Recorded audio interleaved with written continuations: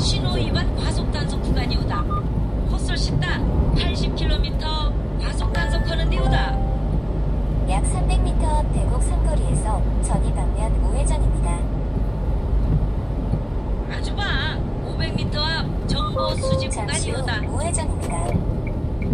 잠시 후 과속 및 신호 단속에 주의하십시오.